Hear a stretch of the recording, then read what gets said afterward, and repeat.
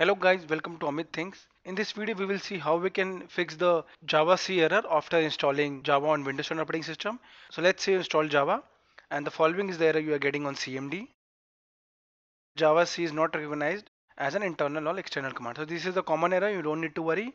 So let's say we installed Java under C drive, program files, Java, JDK13 and here is the bin path. So while installing Java, you may have set this path under environment variables.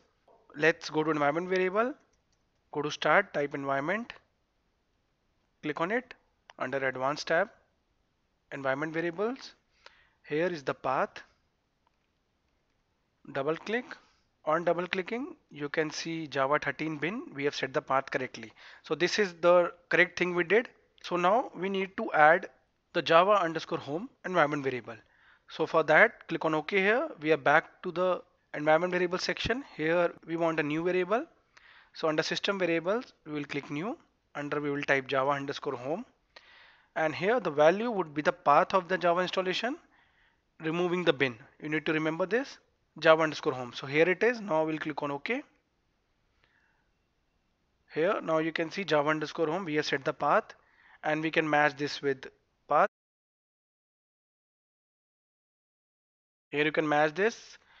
For path environment variable, we have set bin directory and for java underscore home, the bin directory is not visible. So we haven't set it. So this is the correct thing to do. Click on OK, OK and OK again.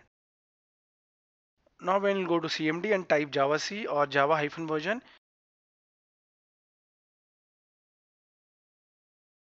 there won't be an error. Because you have fixed it. So guys, in this small video we saw how we can easily fix the following error. So it's not a big error, it's a common error and you should know that we have to set java underscore home environment variable always. So guys, thank you for watching the video. Hope you liked it. For more such videos, subscribe to our channel Amit Thinks.